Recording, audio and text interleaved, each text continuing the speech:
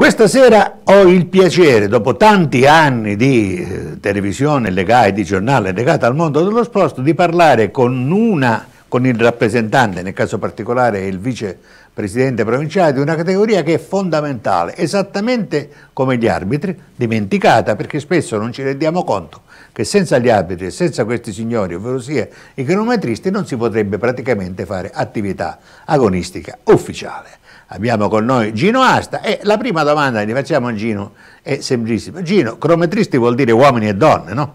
Sì, certo, senza, senza dubbio. E voi quante ne avete di donne? Eh, guarda, il numero preciso... No, il numero esatto no, ma sono parecchie. Ma abbastanza, abbastanza, sì. E allora, visto che voi vi occupate eh, lo vedrete anche dalle immagini, un poco dello sport a tutto tondo, vanno dall'atletica, eh, sotto le varie forme, al nuoto, al ciclismo, eccetera, eccetera. Qual è lo sport più difficile da cronometrare? Ma guarda, non è in particolar modo più difficile, diciamo che ogni sua specialità ha le sue problematiche. Eh, ecco perché eh, da, dai corsi che noi facciamo all'interno, dai corsi di specializzazione per quanto riguarda i colleghi, praticamente ci teniamo sempre all'avanguardia con le nuove attrezzature e i corsi di aggiornamento per quanto riguarda tutti i problemi che può portare una manifestazione. Ecco, le nuove attrezzature, eh, noi eravamo abituati, signori della mia età, a vedere il cronometrista col cronometro in mano. Sì, Oggi quella... invece c'è molta più tecnologia. Sì, ormai il rilevamento è tutto fatto elettronico, partiamo dalla fotocellula che è un eh, rilevamento di tempo elettronico, che poi abbiamo il cronoscrivente, adesso abbiamo il nuovo inquadrato il nuovo Ray 2, eh, molto all'avanguardia perché addirittura ha la capacità di trasmettere il tempo di, direttamente via internet, di pubblicarlo, eccetera, Quindi rende eccetera. estremamente facile compilazione, classifica, tutto è molto più semplice. Allora, c'è sempre molta, molta tensione, molta, eh molta professionalità. diciamo che il lavoro è molto più snello, molto più veloce, eh, siamo in grado di fare un, una classifica in tempo reale, siamo in grado di fare una classifica se la manifestazione si sta per eh, svolgere a Ragusa chiunque anche dall'America può seguire in tempo reale per la io, io lo vedo quando devo mandare gli articoli al giornale, per esempio per la maratona o roba simile, che oggi davvero se finisce alle, alle, all'una l'ultimo concorrente, io già alle tre ho tranquillamente tutte le classifiche e tutto quanto, e fate un grande lavoro. Ma quello che volevo sapere, eh, perdoni al, al, non addetto ai lavori, allora l'attimo che la pistola spara in una gara di atletica, parte automaticamente con, con che cosa? Con una fotocellula il tempo? Sì. Che dura fino all'attimo in cui viene tagliato il traguardo? Sì, la, il cronoscrivente rileva il tempo di partenza, poi alla fine rileva il tempo di arrivo, fa la differenza e da lì viene fuori il tempo impiegato. Qua siamo ai centesimi di secondo praticamente. Sì, certo. E lo stesso vale per il nuoto? Per il nuoto praticamente abbiamo un altro rilevamento che eh, alla fine ci sono le piastre. Cioè perché toccano il quando... Il concorrente va a toccare la piastra e da lì eh, il concorrente stesso va a fermare il tempo. Quindi praticamente quella famosa Olimpiade in cui non si capiva che aveva toccato prima, oggi non può essere perché l'attimo che le piastre toccano esatto. scatta. È tutto elettronico. È molto, è molto, importante questo qui perché è evitato, una volta c'era la famosa fotografia per l'ippica eccetera eccetera e c'è il fotofinish per esempio per gli arrivi in volata, per il ciclismo, no? Sì. Bene, e allora, quando voi, eh, cioè oggi per esempio facciamo, facciamo finta che oggi c'è una, una gara ciclistica importante. La gara comincia alle 9. Quando è che il gruppo cronometristi comincia ad arrivare? Arriva prima? Sì, decisamente molto prima.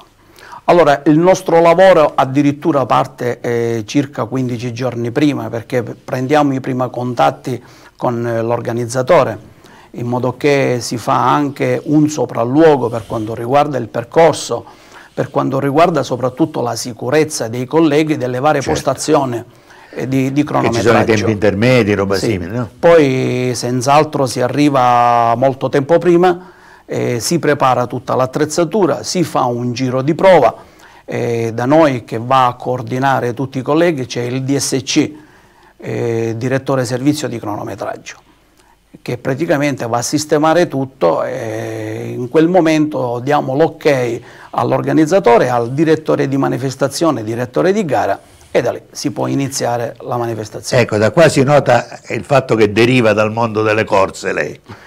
Nel mondo delle corse ovviamente lei ha toccato un altro argomento che è molto importante, che non c'è ovviamente per l'atletica, c'è il problema sicurezza, perché le postazioni dove sono messi i cronometristi per eh, prendere i tempi intermedi e per certi rilevamenti particolari comportano anche il fatto che bisogna garantire eh, a tutti i livelli la loro sicurezza. Lei sì. ha avuto qualche volta qualche problema? Eh, sì, mm, visto che io ho ho, ho, mm, ho, preso il ruolo anche di, di, SC, praticamente sono andato a fare dei sopralluoghi eh, nelle varie manifestazioni. Una che possiamo prendere in esempio la, la Coppa Montiblé, eh. che è una gara molto importante qui, soprattutto nella nostra zona, perché è una gara eh, per il trofeo italiano velocità montagna.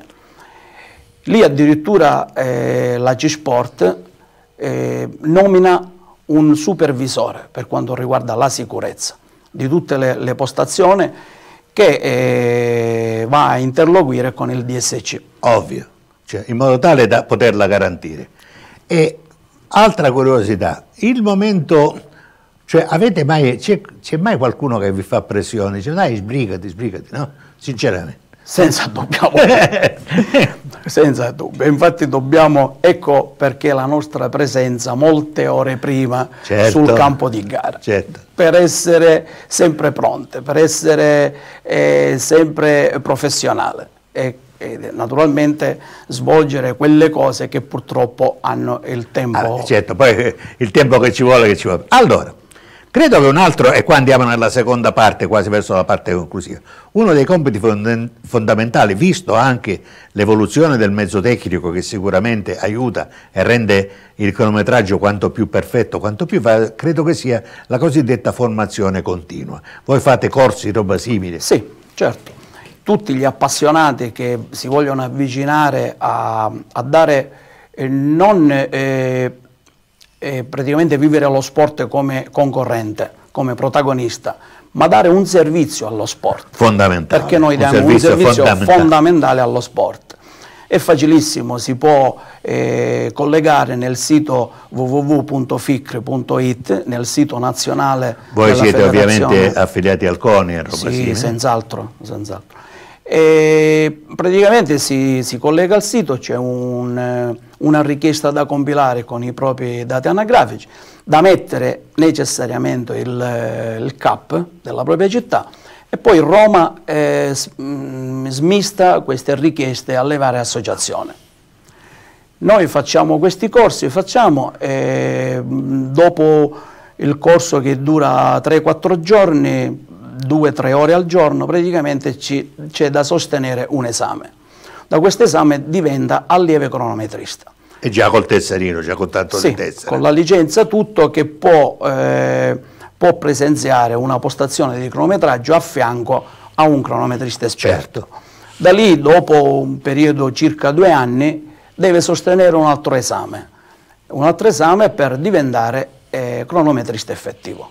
Bene, quindi c'è eh, non è impossibile che lo può fare chiunque, basta avere credo 18 anni. Sì, sì, sì, basta 18 anni e tanta voglia Vabbè, di, di, sport.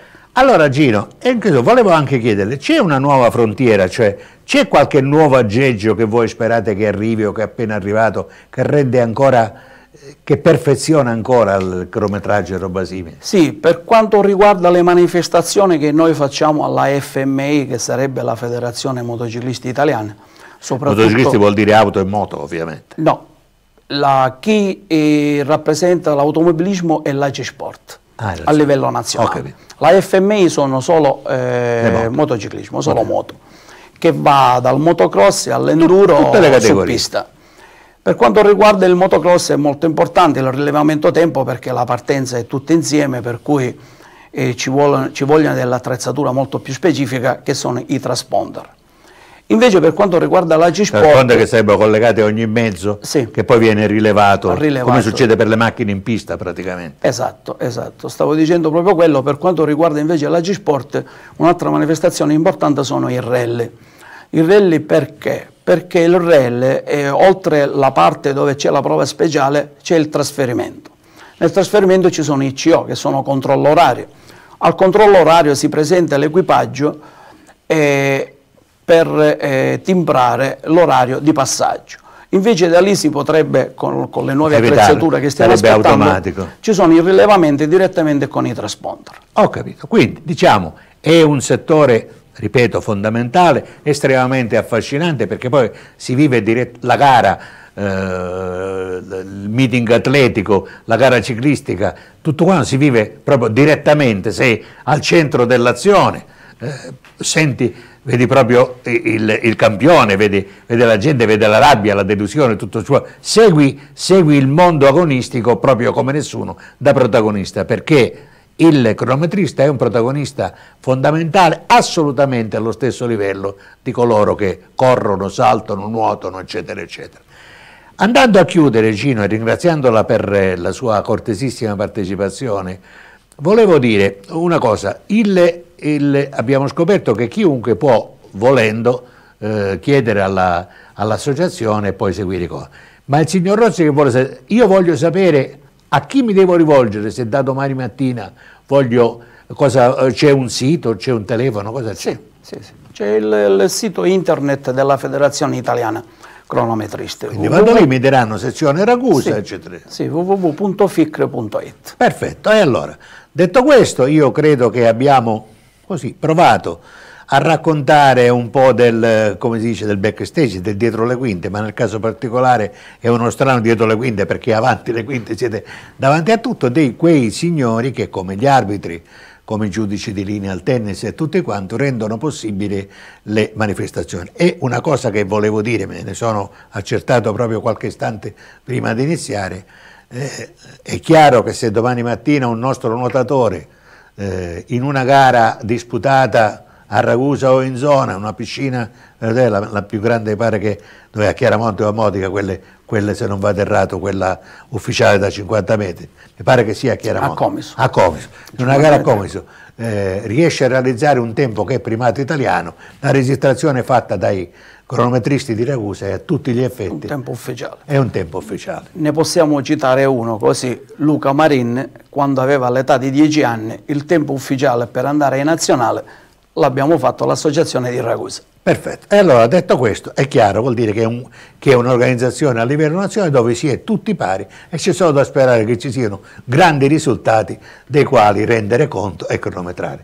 Grazie a Gino Asta, vi saluto. Grazie a voi, buonasera a tutti.